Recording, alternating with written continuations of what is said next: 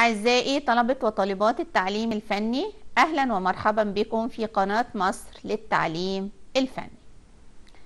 آه تعالوا بقى زي ما تعودنا مع بعض نفتكر إحنا خدنا إيه في الحلقة اللي فاتت علشان نكمل الحلقة الجديدة إن شاء الله لأنها مرتبطة بشكل كبير بالحلقة اللي فاتت. آه أول حاجة مرت علينا في الحلقة اللي فاتت إزاي نحدد الخلايا. وازاي نحدد الصفوف؟ وازاي نحدد الأعمدة؟ قلنا عشان نحدد عمود بنضغط على حرف العمود من فوق من عنوانه علشان يحدد لي العمود كله. طب عشان أحدد الصف أقف من عند الرقم من الخارج خالص وأضغط على الرقم عشان يحدد الصف كله. وتعلمنا إزاي إن إحنا نحدد ورقة العمل بأكملها أو جميع الخلايا اللي موجودة في ورقة العمل بإن أنا بقف في الركن ما بين اسم ما بين اسم العمود أو حرف العمود ورقم الصف الأول والأول في ركنة كده هو مربعة ما بينهم وتعلمنا إزاي نضغط عليها. click شمال بالماوس بلاقي إن ورقة العمل كلها اتحددت معايا. يبقى إحنا كده حددنا عمود حددنا صف. احدد خلية إزاي؟ دي اسهل حاجة تحديد الخلية ان أنا اضغط double click على الخلية فالاقي الخلية اتحددت معايا. اتعلمنا إزاي احدد مدى معين من الخلايا بان أنا click شمال بالماوس وابتدي اسحب واحدد المدى اللي أنا عايزاه. إزاي احدد خلايا غير متجاوره؟ زرار ال Control صباعي دوس عليه تملي بفكركم عشان ما تنسوش وابتدي click شمال بالماوس على الخلايا الغير متجاوره اللي أنا عايزه احددها مع استمرار في الضغط على زرار ال Control بصباعي ده. تمام كده؟ طيب. يبقى إحنا اتعلمنا جميع انواع التحديد. وسهل جدا إن أنا أحدد خلايا متجاورة. إن أنا بضغط click شمال بالماوس وبسحب كده إلى أن يتم تظليل جزء الخلايا المتجاورة اللي أنا عايزة أحددها. وبرده مفتاح ال Shift اللي موجود على ال keyboard بيساعدني في الضغط عليه إن أنا أحدد الخلايا المتجاورة. انتقلنا بعد كده لجزئية تانية اللي هي تنسيق الأرقام. اللي أنا عارفة إن أنتوا هتحبوها لأن أنتوا هتستعملوها كتير عشان تفرقوا الرقم اللي أنا كاتبه ده. رقم إيه تعالوا نفتكر قلنا تاريخ عملة درجة حرارة وقت نسبة مئوية ايا كان الرقم ده إيه الرمز اللي عايزه أحطه جنبه عشان يدل عليه واتكلمنا فيها باستفاضة وقلنا إزاي إن أنا اغير تنسيق الأرقام بتاعتي دي قلنا من التبويب هوم ومن المجموعة نمبر. أبتدي أشوف الأيكون اللي أنا عايزة أستخدمها في الأيكون اللي خاصة برمز العملة وفي اللي خاصة بالمنازل العشرية أزود منزلة عشرية بالضغط عليها أو أقلل منزلة عشرية بالضغط على الأيكون اللي جنبها اللي خاصة بتقليل المنازل العشرية. في الأيكون الخاصة بالفاصله ودي زي ما قلنا بتفصل الرقم ما بين المليون وما بين الألف وما بين المئات والعشرات وهكذا. والنسبة المئوية. رمز النسبة المئوية وشفنا برضو كذا طريقة إن أنا أستخدم التنسيقات دي. أول طريقة اللي قلناها. تاني طريقة عن طريق إن أنا الركن السهم اللي موجود في الركن الخاص بمجموعة النمبر بضغط عليه بيتفتح لي القايمة أو النافذة بتاعة Format Cell تنسيق الأرقام. هلاقي فيها كل التنسيقات اللي أنا عايزاها. أبتدي أستخدمها. بعد كده انتقلنا لجزئية تانية اللي هي المحاذاة. المحاذاة؟ وقلنا إن المحاذاة دي اخدناها مرت علينا قبل كده في Microsoft Word ومرت علينا في Microsoft PowerPoint وللمرة الثالثة بتمر علينا في Microsoft Excel المحاذاة دي مش عايزاكم تعتقدوا إن إحنا عشان خدنا المحاذاة في الوورد والإكسل والوورد والباوربوينت نقول إن هي خاصة بالنصوص. لا ده المحاذاة كمان خاصة بالأرقام. أنا ممكن أعمل محاذاة للرقم. أجيب الرقم جهة اليمين جهة اليسار أجيبه في الوسط. فالمحاذاة مش مش مقتصرة فقط على النصوص ولكن أيضا تشمل الأرقام زي ما شفنا مع بعض في الحلقة اللي فاتت. يبقى قلنا المحاذاة دي بأغير اتجاه اتجاه المحتوى داخل الخلية. المحتوى كله جوه الخلية بقدر أجيبه يمين بقدر أجيبه يسار بقدر اوصل وده قلنا جبنا منين؟ من التبويب هوم ومن المجموعة الجمنت وابتديت إن أنا أشوف الأيكون اللي خاصة بكل اتجاه زي ما أنا عايزة. وقلنا في الحلقة اللي فاتت إن دي الطريقة الأولانية في إن إحنا نغير محاذاة محتوى الخلية. وقلنا الدرس اللي جاي إن شاء الله أو الحلقة اللي جاية هنبتدي نشوف الطريقة التانية فتعالوا مع بعض نشوف الطريقة التانية لتغيير محاذاة إيه؟ محتوى الخلية سواء كان المحتوى ده نص أو رقم. تعالوا بينا يلا. الطريقة التانية لتغيير محاذاة محتويات خلية. هنستخدمها الطريقة دي علشان الناس اللي بتحب تشتغل على لوحة المفاتيح الكيبورد. قال لنا المحاذاة لليمين زرار Control مع ال R توسيط Control مع ال E محاذاة يسار Control مع L طيب تعالوا نفتكر كده مع بعض. أنا تملي لما بيكون في شغل من ال keyboard بحب أكد عليكم تملي بأكد عليكم على المعلومة دي. لما يكون في مفتاحين هضغط عليهم على ال keyboard علشان ينفذوا لي أمر معين من فضلكم ما تشيلوش إيديكم من على الزرار الأولاني. يعني هو بيقول لنا جهة اليسار Control مع L Control مع حرف L ما اضغطش ضغط على ال Control واقوم شايله صباعي وبعدين أدوس على حرف L مش هينفذ الأمر. لازم بالتوازي أكون دايسة على المفتاحين مع بعض. Control و L يجيب المحتوى جهة اليسار L يعني left Control و R يجيب المحتوى جهة اليمين right يعني R يعني right يعني جهة اليمين. والتوسيط زي ما قلنا Control مع حرف ال E يبقى أنا كده هو استخدمت ال keyboard وما استخدمتش شريط التبويبات و إيه شريط ال Ribbon ال icon اللي موجودة في شريط ال Ribbon. يبقى أول طريقة إن أنا استخدمت إيه التبويبات. تاني طريقة إن أنا استخدمت ال keyboard وزي ما قلنا في بعض المستخدمين لتطبيق Microsoft Excel بيبقى سهل عليهم إن هم يستخدموا مفاتيح ال keyboard من إن هم يمسكوا الماوس ويبتدوا يحركوه ويختاروا الأوامر. يبقى إحنا كده اتعلمنا الطريقتين والطريقتين صح الطريقتين صح بقولها للمرة التانية الطريقتين صح ولكن كل مستخدم يستخدم الطريقة اللي هو شايفها إن هي تناسبه. تعالوا بقى مع بعض نتعلم مهارة جديدة إظهار النص داخل الخلية على أكتر من سطر. لو أنا عندي جملة الجملة دي بتتكون من كلمتين وعايزة كل كلمة تيجي في سطر دي مهارة هنتعلمها إزاي نجيبهم على سطرين. شايفين ال icon دي؟ مكتوب عليها إيه؟ Wrap Text. Wrap Text. يعني بظهر المحتوى بقسمه على جزئين. دي أول مهارة. تاني مهارة دمج الخلايا. Merge Center. Merge Center. ودي ال icon اللي خاصة بيها. ال icon دي بلاقيها فين؟ بلاقيها في شريط ال Ribbon.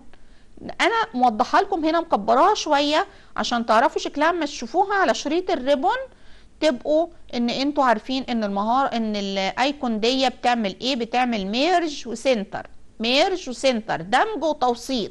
دمج وتوسيط محتوى الخلايا. أما الأيكون دي اللي فيها جزئين منفصلين عن بعضهم اسمها راب تكست ودي بتقسم الجملة في الخلية إلى شقين. آه طب طبعا أنا آه متعودة معاكم وأنتم متعودين وخلاص عرفتوا إن إحنا أي مهارة بنتعلمها لازم بنربطها بالواقع العملي. طب هو أنا هستفاد إيه لما إن أنا أقسم جملة مكتوبة في خلية على سطرين؟ دي بتفيدني في حاجات كتيرة. بتفيدني اولا في التنسيق. لما يكون عندي مثلا إيه عمود مكتوب فيه هكتب فيه إيه أسماء موظفين أسماء الموظفين. تمام كده؟ أنا أسماء الموظفين هتاخد حيز معين لكن علشان الجملة كبيرة اللي أنا كاتباها أو أسماء موظفين الشركة فأنا عايزاها آه، العمود ما يبقاش كبير قوي عايزاه ياخد نفس نفس المحتوى ولكن ياخد حيز أقل. طب حد هيقول لي أنا ممكن أصغره أصغره بالشكل ده أضغطه كده. ممكن يتصغر ولكن ده هيأثر على تنسيقات تانية. إحنا بنتعلم جميع المهارات. لما أنا آجي أنفذ حاجة زي كده أنا قدامي كذا اختيار. أنا اتعلمت إيه؟ اتعلمت تصغير العمود وتكبير العمود. اتعلمت تكبير الخط وتصغير الخط. اتعلمت دلوقتي مهارة جديدة اللي هي تقسيم الجملة داخل العمود إلى جزئين. أنا معايا كذا اختيار. أبتدي أشوف أنهي اختيار فيهم اللي هيأدي لي المهمة اللي أنا عايزاها. والله أنا لقيت ال- المهارة الاولانيه اللي أنا اتعلمتها أو الاختيار الأولاني ينفذ لي اللي أنا عايزاه تمام خلاص. والله لقيت إن الاختيار التاني إن أنا هقسم الجملة على سطرين هتعمل تنسيق للعمود أفضل بمحتوياته أشتغل عليها. يبقى أنا ليه بتعلم كذا حاجة؟ علشان أشوف اللي يناسبني وأبتدي أنفذه. طب الجزئية الثانية اللي إحنا هنتعلمها دلوقتي اللي اسمها إيه؟ Merge Center. Merge يعني دمج. أنا بدمج خليتين في بعض. أنا دلوقتي كاتبة في خلية اسم الشركة. الشركة العربية لتصنيع الأخشاب مثلا. الجملة دي خدت مني ثلاث خلايا. طيب أنا مش عايزاها متقسمة في ثلاث خلايا. وانتوا لما بتنزلوا المعمل وبتشتغلوا وبتكتبوا كده بتضايقكم قوي الجزئية دي. بتقولوا إيه؟ طب إحنا ما ينفعش إن إحنا نخلي الجملة دي في خلية واحدة؟ آه. النهارده هنتعلم إزاي نخليها في خلية واحدة. أنا كاتباها يا إما الجزء بتاعها اختفى داخل الخلية اللي جنبيها يا إما موجود بس الخلية مقسماه الخلايا مقسماه وهنشوف ده بجزء عملي. فأعمل إيه؟ بنحدد الخلية اللي فيها اسم الشركة الكبير وبنعمل لها ميرج دمج و Center كمان اوسطها كمان أخليها في الوسط. تعالوا بينا نشوف هنطبق ده عملي إزاي. يلا بينا. ادي آه، sheet ال Excel الخاص بيا. أنا جيت هكتب هنا لو أنا جيت لأ بكتب لقيته كتب in English أعمل Alt و Shift يمين يكتب عربي. ادي كتبت كلمة إيه؟ كشف المرتبات. أنا شايفة آه دي جملة متكونة من كلمتين زي ما إحنا شايفين بالشكل ده. لو أنا جيت فتحت Merge and Center وإحنا قلنا Merge and Center دي بتعمل إيه؟ بتدمج الخلايا. Merge and Center بتدمج الخلايا. بتخلي بدل ما هي الجملة مكتوبة في في خليتين أهو زي ما إحنا شايفين أهو بقت مكتوبة في إيه؟ في خلية واحدة. الخط الفاصل ما بين الخلية الأولى والثانيه اتمسح ما بقاش موجود. ليه؟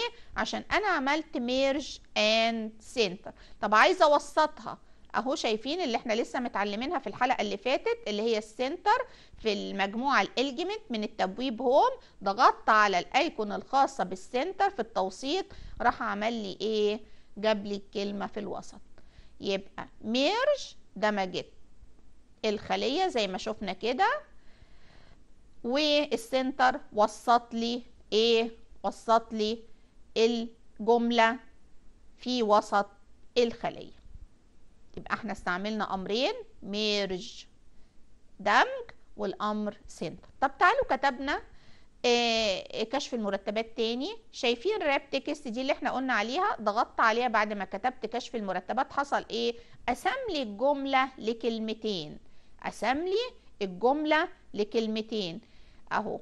آه كشف لوحديها لو أنا ضغطت عليه تاني حصل إيه؟ رجعها تاني زي ما كانت. رجعها تاني زي ما كانت وعملت لها merge و center يبقى إحنا دلوقتي اتعلمنا مهارتين.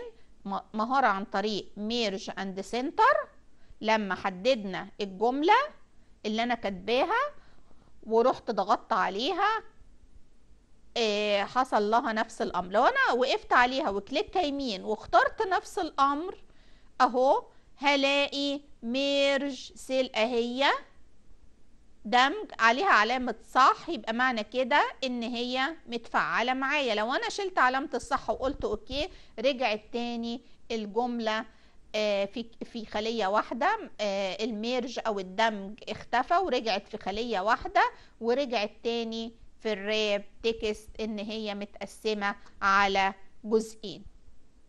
تمام كده؟ وبكده يبقى أنا عملت المهارتين مع بعض.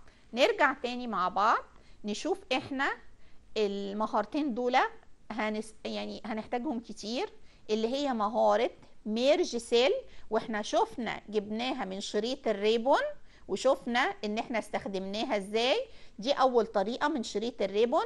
تاني طريقة إن أنا click يمين على الخلية واختار format cell ومن format cell بلاقي الأمرين اللي هو merge and center واللي هو ال wrap text أبتدي click بال... click شمال بالماوس على المربع اللي جنب الامر أو اللي جنب المهارة دي اللي هي ال wrap text أو merge center بيتعمل علامة صح عليها. طالما في علامة صح اتعملت عليها أو ظهرت عليها يبقى معنى كده إن الامر ده مفعل معايا إن هو فعلا اتنفذ. طب لو أنا ضغطت بال mouse click شمال على علامة الصح دي للمرة التانية هتختفي. هيبقى المربع الصغير اللي جنب الأمر ده ما فيهوش أي علامة. وادوس أوكي يبقى معنى كده إن الجملة هترجع لطبيعتها تاني مش متنفذ عليها أي أمر. يبقى إحنا عرفنا الطريقتين بس لازم علشان أي طريقة منهم بستخدمها لازم أكون محددة الخلية ذات نفسها. ما ينفعش أكون واقفة على خلية تانية بعيدة خالص عن الخلية اللي أنا كنت عايزة أعمل عليها التنسيق اللي هي كانت في المثال السابق. كشف المرتبات أروح أقف في خلية تانية وانفذ الأمر مش هيتنفذ على كشف المرتبات هيتنفذ على الخلية الثانية اللي أنا إيه محدداها واقفه عليها. يبقى أول حاجة قبل ما أنفذ لازم أحدد الخلية. دي أول خطوة. تاني خطوة أبتدي إن أنا أشوف الأمر اللي أنا عايزة أنفذه في شريط ال ribbon في المجموعة اللي أنا عايزاها المجموعة اللي هي home. تمام؟ وأبتدي أشوف فين ال icon اللي عايزة أنفذ عليها سواء كانت merge and center اللي هي دمج وتوسيط سواء كانت wrap text اللي هي تجزئة الجملة على سطرين في الخليه تمام؟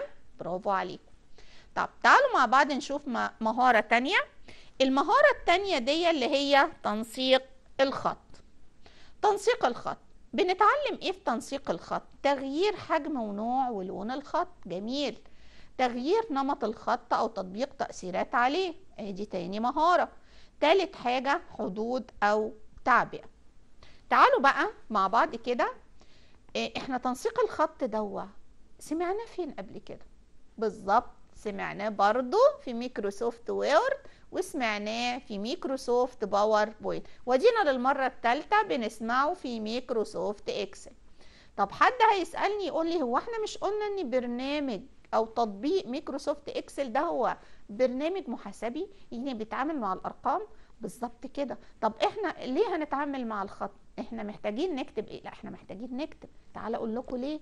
إحنا دلوقتي لما نيجي نعمل ميزانية مش الميزانية دي هي الأرقام اللي برنامج الحسابات بتاعنا Microsoft Excel بيتعامل معاها. طب الميزانية دي مش بيبقى مكتوب فيها. مدخلات نصية مش بنكتب في الميزانية دي الإيرادات وكلمة إيرادات. ومش بنكتب كلمة مصروفات ومش بنكتب عنوان أصلا ليها الميزانية عن سنة كذا. مش كل دي تنسيقات مش كل دي نصوص محتاجة مننا تنسيقات بالظبط كده. فالتنسيقات دي برنامج ال Excel أتاحها إن أنا أنفذها داخل التطبيق. إيه هي بقى التنسيقات اللي على الخط دي؟ أكبر الخط أو أصغره طبعا ألونه أظلله أعمل برواز وحدود ليه؟ أغير ال style بتاع الخط ذات نفسه أنواع الخطوط اللي إحنا درسناها في Microsoft Word. كل التنسيقات اللي متاحة ببرنامج Microsoft Excel أقدر أطبقها على المدخلات النصية اللي أنا بدخلها داخل الخلايا في ال workbook اللي أنا شغالة عليه. تعالوا طيب أنتوا بتحبوا الجزء العملي وأنا عارفة ده كويس. يلا ادي Microsoft Excel فاتحه ال sheet كاتبه لكم هنا هو. آه جدول حددت الجدول أهو زي ما أنتم شايفين. علشان نبتدي نشتغل عليه. أدي الجدول بتاعي. طبعا فيه مدخلات نصية وفيه مدخلات رقمية أهو بالشكل ده.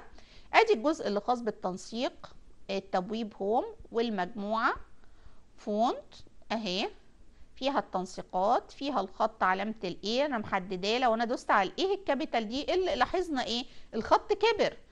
حجمه بيكبر. لو ال A الصغيرة التانية ال icon دي إيه اللي حصل؟ الخط ابتدى يصغر معايا. في هنا هو سهم جنب الرقم الخاص بالخط ده رقم الخط درجة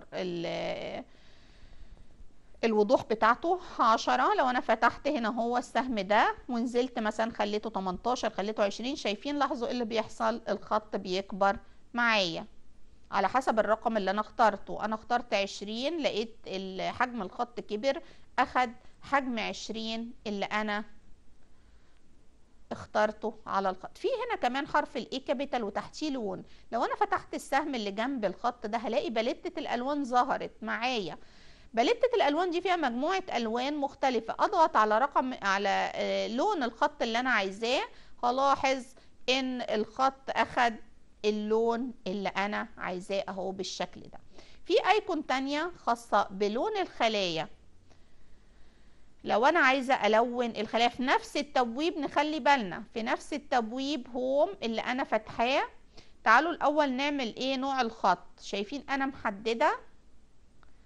الجزء اللي أنا عايزة أغير فيه ال style اللي خاص بالخط أختار مثلا Arial Black آه هختار نوع تاني عشان النوع ده كبر الأرقام قوي. ادي نوع اهو تاني من الخطوط. آه ظهرت عندي هنا الأرقام بوضوح أهي. فزي ما قلنا كده التنسيق اللي عملته على الخط كبر الخط وغير لونه. وغير نوع الخط كمان. لو عايزه أعمل تنسيق تاني بحدد الجزء اللي عايزة أغير له التنسيق. ومن التبويب Home ومن المجموعة Font شايفين حرف ال B دي يعني ها يعني bold bold يعني سميك بيخلي الخط سميك. وال I دي لو ضغطت عليها italic معناها italic بيجيب الخط مايل شوية. وال U دي معناها underline يعني بيعمل لي خط تحت المدخل. اللي أنا مدخلاه في الخلية بالشكل ده. يبقى هنا أهو. لو أنا جيت حددت تاني وعايزة أعمل تنسيق تاني المرة دي بقى أنا هلون هلون إيه؟ الخلية ذات نفسها مش محتوى الخلية. هلون الخلية ذات نفسها. ال icon دي هفتح السهم اللي جنبها هيديني مجموعة من الألوان. أختار أي لون كده لون لي الخلية ذات نفسها من الداخل. يبقى دي مجموعة من التنسيقات أنا دخلتها على محتوى الخلية. هنا حددتها تاني. هفتح هنا في ال border. ال border دي يعني الحدود.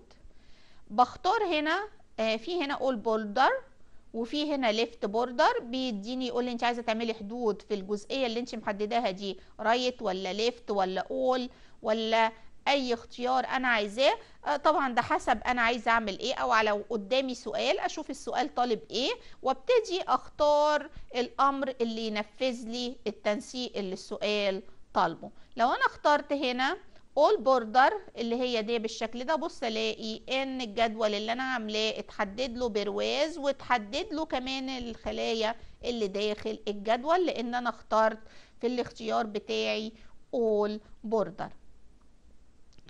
يبقى شفنا هنا التنسيقات اللي إحنا عملناها. عملناها من التبويب Home ومن المجموعة Font.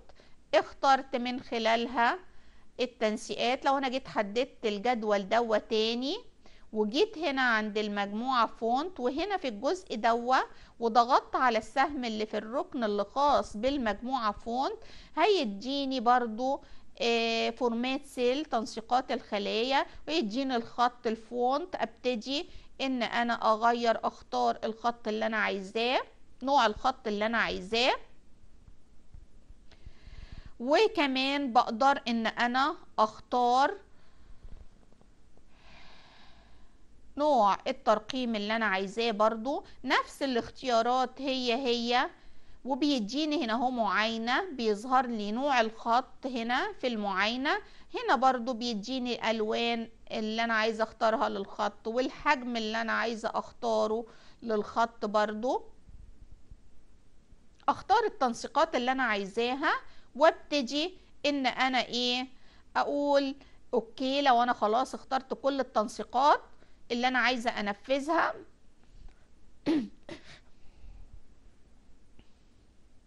هلاقيها داخل فين؟ داخل الصندوق الحواري اللي اتفتح لي دوا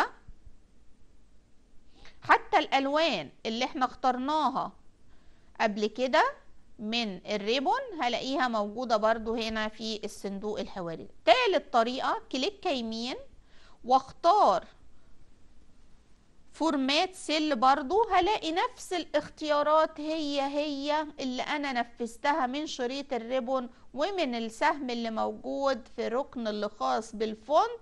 هي هي برضو نفس الاختيارات أختار اللي أنا عايزاه وأقول okay. طيب تعالوا معانا كده بقى نشوف الحاجات الكتيرة اللي إحنا اشتغلناها مع بعض العملي دي اللي خاصة بإيه؟ اللي خاصة بتنسيق الخطوط. تعالوا بقى نراجع مراجعة سريعة كده عليها. قلنا إن في ثلاث طرق عندي علشان أنسق الخط. قبل ما أنفذ أي طريقة فيهم لازم اولا أكون محددة أو مظللة أو منشطة الجزئية اللي أنا عايزة أنفذ عليها تنسيق الخط لأن بدون تحديد مش هتتنفذ الأوامر اللي أنا عايزة أنفذها على المدخلات بتاعتي.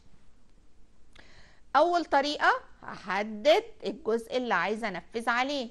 تاني ح... تاني حاجة أعملها إيه هي؟ من التبويب Home ومن المجموعة Font من المجموعة Font الخاصة بالخط. هعمل إيه؟ هبتدي أختار نوع الخط اللي أنا عايزاه. دي أول حاجة وعرفنا إزاي مع بعض في الجزء العملي. تاني حاجة أختار حجمه. أقدر أكبره وأقدر أصغره عن طريق الأيقونة ال A capital والأيقونة الاي سمول تالت حاجة بقدر ألونه من خلال مجموعة الألوان اللي موجودة معايا. رابع حاجة الخلية ذات نفسها الخلايا الخاصة بالإكسل ذات نفسها أقدر ألونها. مش عايزاكم تلخبطوا بين حاجتين تلوين الخط وتلوين الخلية. كل حاجة ليها icon مختلفة عن التانية. طيب عملنا إيه تاني؟ عملنا border عملنا border للجدول أو حددنا على حسب ما أنا عايزة. عايزة أعمل all border عايزة أعمل border left خط يمين خط يسار خط أعلى خط أسفل زي ما أنا عايزة أنفذ. بالظبط أختار. يبقى إحنا كده عملنا التنسيقات. ما ننساش كمان التنسيق اللي عملناه إيه؟ bold اللي هو سميك اللي هو حرف ال B والتنسيق اللي عملناه I italic الخط المائل. والتنسيق حرف ال U underline اللي تحتيها خط اللي بيطلع لي خط تحت التنسيق. يبقى أنا كده عملت كل التنسيقات اللي خاصة بإيه؟ بالخ... دي طريقة. الطريقة الثانية عن طريق السهم اللي موجود في الركن اللي خاص بال font أو format اللي خاصة بال format اللي خاص بالخلايا هضغط عليها يتفتح لي format cell نافذة اللي خاصة بال format cell هلاقي فيها كل الاختيارات اللي خاصة بتنسيق الخلايا. أختار التنسيقات اللي أنا عايزاها وأقول له okay نفس الاختيارات هي هي.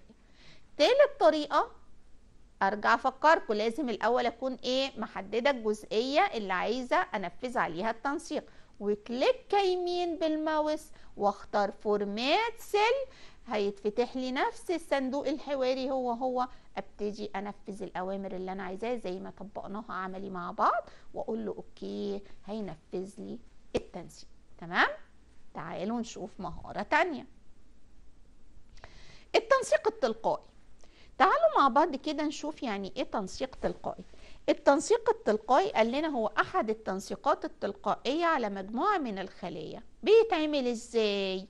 أول حاجة ننشط التبويب home من المجموعة styles نختار format as table طب تعالوا يعني إيه تنسيق تلقائي تعالوا مع بعض كده. مش إحنا لسه من شوية وكمان في الدرس اللي فات شرحنا إن إحنا بننسق الخلايا داخل تطبيق ميكروسوفت إكسل. بننسقها إزاي؟ بنختار لها لون بنختار لها حجم بنختار لها border بنختار لها آه نوع معين من الخطوط وقعدنا عملنا مع بعض. وشفنا إزاي إن إحنا بنعمل التنسيقات دي. هو بعد إحنا ما شرحنا إزاي إحنا نعمل بنفسنا؟ جينا نقول لكم بقى المفاجأة دي إن ميكروسوفت إكسل هو عنده تنسيقات جاهزة. عندك تنسيقات جاهزة وسايبنا عمالين نلون الخط ونكبر الخط ونصغر الحدود ونكبر الحدود. آه ما إحنا لازم نعرفك إن أنت تقدر تعمل دوا لوحدك ولكن في نفس الوقت في ناس أو مستخدمين أو user بيحبوا إن هم يستخدموا التنسيقات الجاهزة. هم شايفين إن هي هتوفر ليهم وقت وجهد وفي نفس الوقت هتديهم نفس الجودة اللي هم عايزينها. فعشان كده ميكروسوفت إكسل حطت لنا جوه التطبيق بتاعنا إيه؟ تنسيقات جاهزة. لمن يرغب في استخدامها. تعالوا مع بعض نشوف بالطريقة العملية هنستخدمها إزاي؟ يلا بينا. ادي جدول عندي اهو اللي إحنا اشتغلنا عليه في التمرين اللي فات. موجود معانا اهو. تعالوا بقى نشوف هنعمل عليه تنسيق جاهز إزاي. في التبويب هوم لازم اتأكد ان أنا فاتحة التبويب هوم اهو بالشكل ده. هاجي تاني خطوة احدد الجدول اللي أنا عايزه اعمل عليه التنسيق. أأكد تاني إن إحنا في التبويب هوم. شايفين هنا style المجموعة styles format table شايفين format table أنا ضغطت على السهم اللي جنبها فتحتها آجي المفاجأة التنسيقات الجاهزة. ضغطت على واحد فيهم قال لي أنت عايزة تنسقي المدى ده؟ هو محدده أهو في الجزء الأسمر ده اللي فيه المدى. أقول له أيوه هو فعلا المدى ده لأن أنا من الأول أنا محدداه لأنه هيطبق التنسيق على المدى ده بس. أقول له okay. اللي حصل. عمل لي تنسيق جاهز اهو. آه نوع خط معين ولون معين وتنسيق أرقام معينة. وكمان ضاف لي حاجة زي قايمة كده فوق عند عناوين رؤوس عناوين الخلايا. آه القايمة دي فيها إيه؟ فيها الأصناف اللي مكتوبة. أنا كاتبة تكييف شاشة ال سي دي مكواء الكلام ده. كمان حطها لي في قايمة. حطها لي في قايمة مختزلة عنده. ليه؟ عشان لو أنا عايزة آه أظهر مثلا بيانين بس عايزه أظهر التكييف وعايزه أظهر المكواة. هخلي عليهم علامة صح وأشيل علامة الصح من على المدخلات الباقية فمش هيظهر غير دول بس. نفس الحكاية للكود. لو أنا عايزة كود معين مثلا بيبتدي برقم معين هعمل علامة صح عليه كليك شمال بالماوس وفيها هيظهر هو ده بس ومش هيظهر الباقي. نفس الحكاية السعر. لو جيت فتحت هلاقيه عامل لي قائمه مختزلة لكل الأسعار؟ عايزة كل الاسعار الأسعار تظهر هعمل علامة صح عليها كلها زي ما هي واضحة كده. عايزة سعر معين اللي يظهر والباقي الأسعار تختفي هعمل علامة صح على اللي عايزاه يظهر بس والباقي يختفي مش عايزة أشوفه في القائمه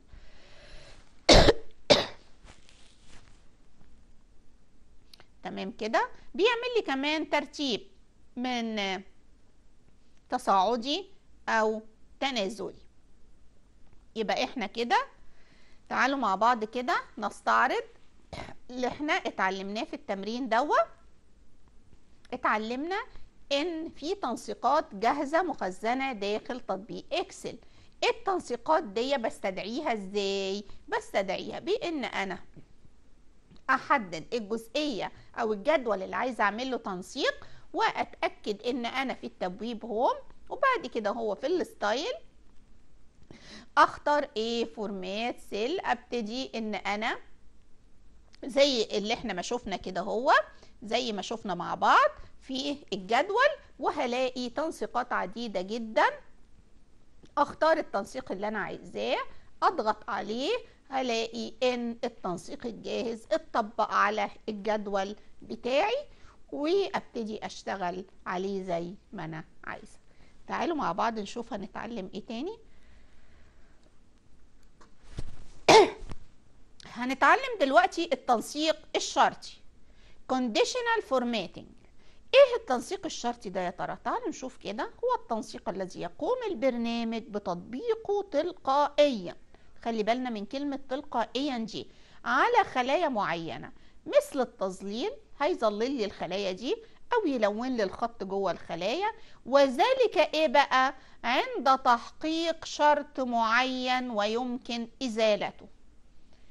طب ده في كذا جزء هنا. التنسيق الشرطي ده. قال لي اولا بيتطبق تلقائي. ثانيا ممكن يكون تظليل أو لون خط. ثالثا أنا ممكن أزيله. طب تعالوا بقى مع بعض كده أشرح لكم تمهيدا للتطبيق اللي هنحله مع بعض. هنحل مع بعض تطبيق دلوقتي هنشوف إزاي التنسيق الشرطي ده بيتطبق. قبل ما نشوف التطبيق ده هديكوا فكرة عنه كده أهو عشان يبقى سهل التطبيق في الجزء العملي. ولنفرض مثلا إن أنا آه عندي آه كذا منتج.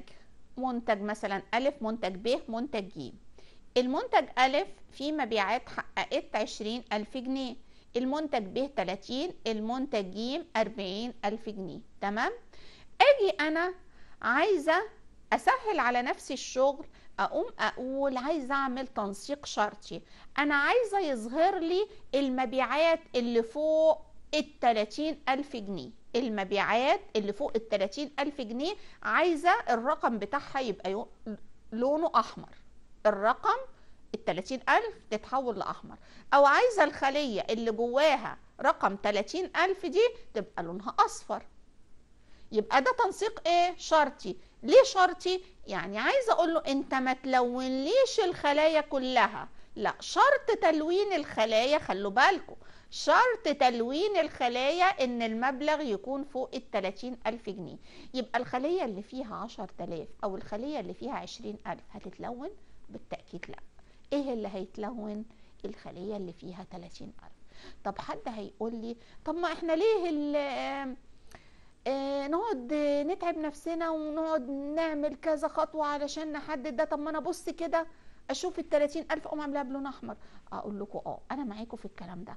ولكن أنا عشان بديلكم مثال بسيط لكن لو في شركة بتتعامل مع مليون من الأصناف هل همسك كل خلية أدور عليها لونها باللون؟ ده إحنا هنقعد يومين ويمكن أكتر علشان نعمل التنسيق ده.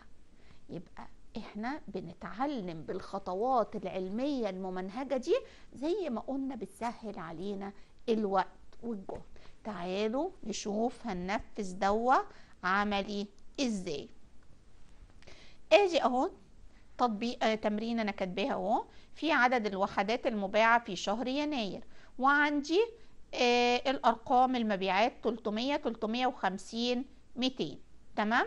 عايزه أعمل إيه؟ تنسيق شرطي للجزئية دي. آه زي ما قلت لكم آدي 300 350 200 لازم أكون محددة جزء الأرقام اللي أنا هعمل عليها التنسيق الشرطي. ومن التبويب هوم زي ما إحنا شايفين كده هروح فين؟ هروح عند اهو conditional formatting. conditional formatting. هضغط كده هيظهر لي إيه؟ highlight cell rules. انت عايزة تعملي هايلايت للخلايا اللي هي آه هتحقق الشرط المعين ولا عايزة تعملي آه تلوين آه للخلايا؟ للأرقام. أنا هروح عند highlight وأقول إيه بيديني greater than أكبر من less than أقل من equal يساوي. أشوف أنا عايزة إيه لا. أو between ما بين أرقام كذا وما بين أرقام كذا. فبيديني كذا اختيار. أشوف أنا الاختيار اللي أنا عايزاه على حسب التمرين اللي أنا بحله. التمرين اللي أنا بحله دوا طالب إيه أبص على الاختيارات اللي عندي. لا ده التمرين عندي طالب أكبر من greater than. رحت أنا ضغطت على greater than. آه طلع لي صندوق حواري كده يقول لي أنت عايزة الرقم يكون أكبر من إيه؟ greater than إيه؟ أقوم آه أبتدي أفتح آه الجزء اللي خاص بالكتابة اللي أنا هكتب فيه. وامسح الرقم اللي كان موجود. إذ ربما أنا كنت حله تمرين قبل كده أو حد كان قاعد على الجهاز قبلي وحاطط تمرين قبل كده فأنا أكتب الرقم اللي أنا عايزاه. آه، بيقول لي أنت عايزة بعد كده هو يتلون بلون red اللايت بتاع الرقم يبقى red. لا أنا في التمرين بيقول لي إن هو عايزه red أو yellow أو green زي ما أنا عايزة أو زي التمرين ما هو طالب. أبتدي أختار اللون الريد. إيه اللي حصل؟ أهو أنا قلت الأرقام اللي فوق ال 300 مفيش أي رقم اتحدد غير ال 350 ال 300 ما اتحددتش باللون الأحمر ولا ال 200 آه اتحددت باللون الأحمر. فده معناه إن هو ما لقاش فوق ال 300 غير رقم واحد اللي هو ال 350 ولونه بلون أحمر وبكده إن هو عمل إيه؟ حقق التنسيق الشرطي اللي هو conditional formatting من آه المجموعة style من المجموعة style تمام؟ وفي عندي هنا هو آه لو أنا عايزة أعمل آه الغيه باجي هنا clear شايفينها؟ قلت clear rules إن أنا بلغي clear rules from select من clear rules أختار clear rules from select بيخت... بيمسح لي التنسيق الشرطي أهو. رجعت الخلية طبيعية تاني مش متلونة بأي لون. يبقى معنى كده هو إن أنا قدرت إن أنا أعمل إيه؟ أزيل التنسيق الشرطي اللي أنا عاملاه. تعالوا بقى بينا مع بعض كده بعد التمرين الجميل دوا اللي إحنا شفنا من خلاله إزاي أنا أعمل آه تنسيق شرطي conditional formatting بالنسبة للأرقام اللي موجودة عندي وبيديني اختيار إن أنا ممكن أختار أنا عايزة أعمل تنسيق شرطي formatting آه أقل من آه than أكبر من أو إن أنا أعمل equal إن هو يساوي أو between يبقى عندي كذا اختيار الأقل الأكبر more than less than equal زي ما قلت لكم between عندي جميع الاختيارات اللي أنا أعمل لها تنسيق شرطي. كمان قال لي ممكن التنسيق ده يا إما أختار آه إن أنا ألون الرقم ذات نفسه أو ألون الخلية اللي فيها الرقم. وممكن الألوان دي خيرني ما بين الألوان المختلفة ال yellow الأصفر ال green الأخضر ال red الأحمر. وهكذا ال blue الأزرق زي ما أنا عايزة ألون الأرقام. كمان إداني ميزة تانية إن أنا ممكن ألغي هذا التنسيق الشرطي conditional formatting بإن أنا بعمل click يمين على الجزء اللي أنا محدداه وابتدي أختار إن أنا ألغي ال conditional formatting زي ما إحنا شفنا مع بعض. وبكده اتعلمنا إزاي نعمل التنسيق الشرطي وازاي ان إحنا نتراجع عنه. تعالوا مع بعض نتعلم مهارة جديدة. تنسيق الصفوف والأعمدة. إن أنا أدرج صف إدراج صف أو إدراج عمود أو حذف صف أو حذف عمود. تعالوا مع بعض كده نشوف في الجزء العملي هنتعلمه إزاي. ادي التدريب اللي فات آه أنا عندي طبعا مجموعة من الأعمدة زي ما إحنا شايفين. وعندي مجموعة من الصفوف. لو أنا جيت حددت العمود C أهو وقفت فوق خالص عند رقم C وعملت عليه click وبعد كده أهو click يمين ودوست insert ضاف لي عمود. لما وقفت عليه و click يمين والقائمة المنسدلة دوست insert ضاف لي عمود. تعالوا نشوف الصف. لو أنا وقفت هنا على الصف حددت أهو بالشكل ده. click شمال بالماوس. click يمين بعد كده عشان القائمة المنسدلة ودوست insert اداني إيه؟ صف جديد أهو. يبقى كده اداني عمود وكده اداني صف. لو جيت حددته تاني و click يمين واخترت delete اتمسح العمود. جيت حددت الصف بالشكل ده click شمال بالماوس عليه اتحدد. وبعدين click يمين ودوست delete من القائمة المنسدلة بيتمسح الصف معايا. يبقى أنا كده ضفت صف وحذفت صف. جيت حددت العمود ده بعد كده. العمود C شايفين هنا هو التبويب home. أنا حددت العمود C ورحت للتبويب home. وبعدين رحت هنا اهو عند insert شايفين insert دي؟ ضغطت عليها كده. بيقول لي insert sheet column أهو. نفس المهمة اداهاني هي هي. ضاف لي column طب لو جيت بالنسبة للصف قلت هنا هو insert برضو وعايزة أضيف صف من المجموعة سيلز insert. insert sheet row. إيه اللي حصل؟ ضاف لي صف جديد أهو بالشكل اللي أنا شايفاه ده. طب لو أنا عايزة أحذفه لو أنا عايزة أحذفه بحدده بالشكل ده هحدد ال column اللي هو C وبعدين أوقف عليه وأقول delete delete table column أهو ابتدى إن هو يحذف لي إيه العمود لو أنا جيت حددت طيب الصف اتنين ده و click يمين ورحت قلت insert إيه اللي حصل؟ اخترت insert من القائمة المنسدلة ضاف لي صف جديد أهو بالشكل ده. طب لو حددت العمود و click يمين عليه بالماوس ودوست insert يبقى ضاف لي عمود جديد. أهو بالشكل. عايزه أحذفه أحدده. click يمين لو أنا قلت insert هيضيف لي عمود جديد لو قلت delete هيحذف لي العمود. لو أنا جيت حددت تاني الصف click يمين اللي أنا أضفته وضغطت delete اللي هيحصل ها يتحذف معايا. طب تعالوا معايا كده هو نراجع اللي إحنا قلناه ده. هو ليه أنا ضفت أعمدة وضفت صفوف وعملت كذا آه طريقة علشان نوضح بيها المعلومة دي؟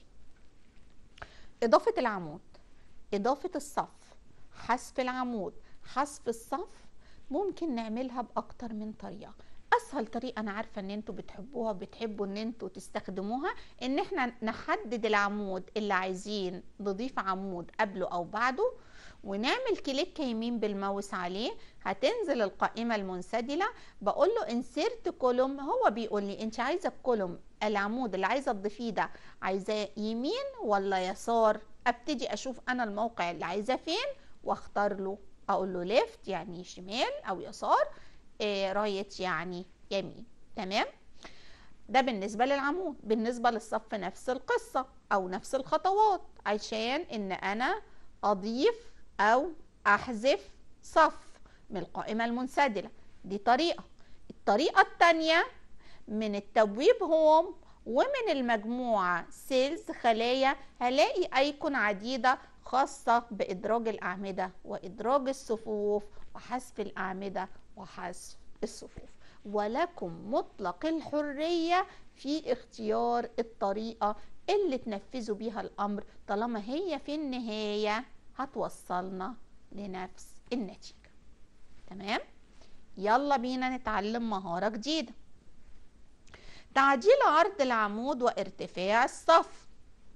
علشان ننفذ المهارة دي إن أنا أوسع عرض العمود أو أغير ارتفاع الصف في مجموعة من الخطوات لازم أعملها. قال لنا أول حاجة نقف في أي خلية في العمود المطلوب تعديل عرضه. ثم ننشط التبويب هوم خلوا بالكم هنا هنقف في أي خلية علشان نغير العرض. إنما لما كنا بننفذ تنسيق على عمود بأكمله أو صف بأكمله ما كانش ينفع نقف في أي خلية في العمود. كان لازم نحدد العمود من بدايته من رقم إيه لو عمود ومن الرقم بتاع الصف لو صف. طب دي أول خطوة إن إحنا هنقف في أي خلية في العمود. ثم ننشط التبويب home. إحنا شغل كتير جدا أو تنسيقات كتيرة جدا عملناها من التبويب home. من المجموعة ال cells اللي هي خلايا ننقر السهم أسفل الأداة format نختار الأمر column width يبقى ده عشان أغير عرض العمود. آه يظهر مربع حواري أو صندوق حواري. يطلب مني إن أنا أكتب أنا عايزة العرض قد إيه. أنا العمود دوا ولنفرض إن هو كان واخد عرض 20 أنا عايزاه 30 فببتدي أكتب 30 وأقول okay. وكذلك بالنسبة لارتفاع الصف نختار row height. طيب عرفنا إزاي؟ بالطريقة النظرية فقط إزاي نغير عرض العمود وارتفاع الصف. أنا مش هشرحها لكم عملي عشان أشوقكم إن أنتوا تبحثوا عنها المرة الجاية ونشتغلها عملي بإذن الله ونشوف إزاي نقدر نغير العرض بتاع العمود ونغير الارتفاع بتاع الصف عشان يبقى ال worksheet بتاعي ظاهر بطريقة منسقة بشكل جمالي وبشكل فني يتناسب مع محتواه. آه، طلابي الأعزاء سعدت بوجودي معكم في هذه الحلقة وفي هذا الدرس وإن شاء الله نلتقي على خير في الحلقة القادمة وإلى اللقاء.